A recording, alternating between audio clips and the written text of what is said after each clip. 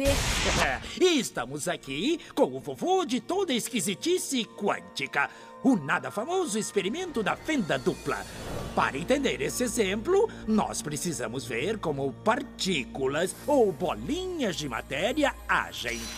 Se por acaso lançarmos um pequeno objeto pela fenda que pode ser uma bolinha de gude, Podemos ver um modelo na parede de trás, pois as bolinhas passaram pela fenda e bateram lá. Agora, se colocarmos uma segunda fenda, nós esperamos ver uma segunda tira duplicada à direita.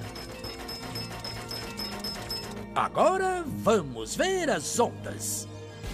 As ondas batiam na fenda e irradiavam, batendo na parede de trás com maior intensidade diretamente na linha da tira. A linha iluminada, na parede de trás, mostra essa intensidade. É parecida com a linha que as bolinhas de gude fizeram. Mas, quando adicionamos a segunda fenda, acontece uma coisa diferente. Se o topo de uma onda encontra a parte de baixo de outra onda, elas se anulam. Agora existe um modelo de interferência na parede de trás. Os lugares onde dois topos se encontram são os de mais intensidade, as linhas de luz, e onde elas se anulam, não tem nada. Então, quando jogamos coisas, quer dizer matéria, através de duas fendas, temos isso: duas linhas.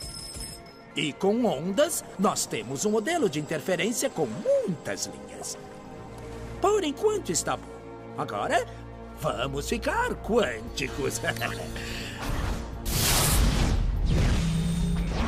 Um elétron é um pedaço bem pequenininho de matéria, como uma bolinha de gude. Vamos jogar uma corrente por uma fenda. Se comporta igual a bolinha de gude, uma linha só.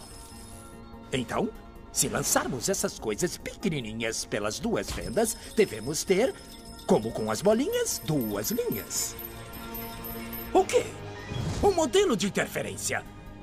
Nós lançamos elétrons, pedaços bem pequenininhos de matéria. Mas temos um modelo igual ao das ondas, não como das bolinhas. Como?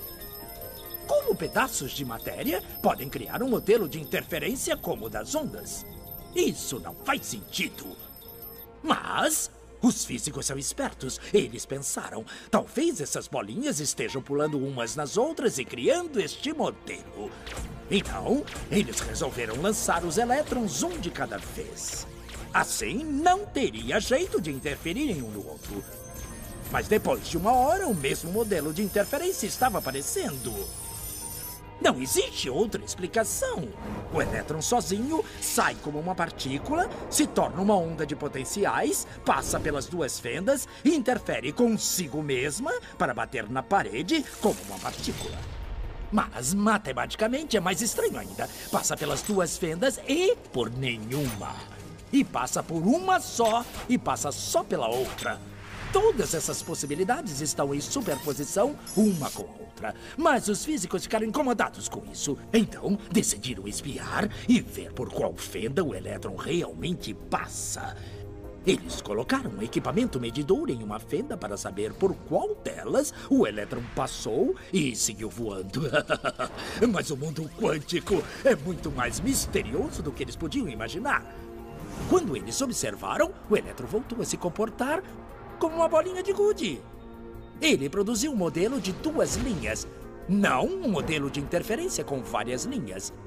Só o ato de medir ou observar por qual fenda o elétron passaria fez com que ele passasse por uma fenda, não pelas duas. O elétron decidiu agir diferente, já que ele sabia que estava sendo observado. E foi assim que os físicos entraram nessa terra estranha e misteriosa dos eventos quânticos. O que é a matéria? Bolas de gude ou ondas? E ondas de quê? E o que o observador tem a ver com tudo isso? O observador acabou com a função de onda simplesmente por observar.